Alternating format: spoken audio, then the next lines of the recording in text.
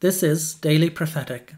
I see a huge crane lifting heavy weights.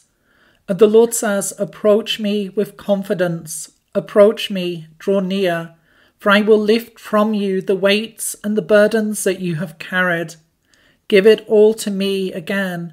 Give it all to me anew. For I am lifting from you those burdens. I'm lifting from you those weights. They are not yours to carry.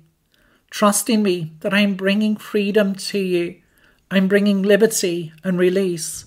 For I am lifting from you the heavy weights, and I'm leading you into the life which is yours. I'm leading you into a place of refreshment, a place of my healing presence. Don't forget to like, comment, and share.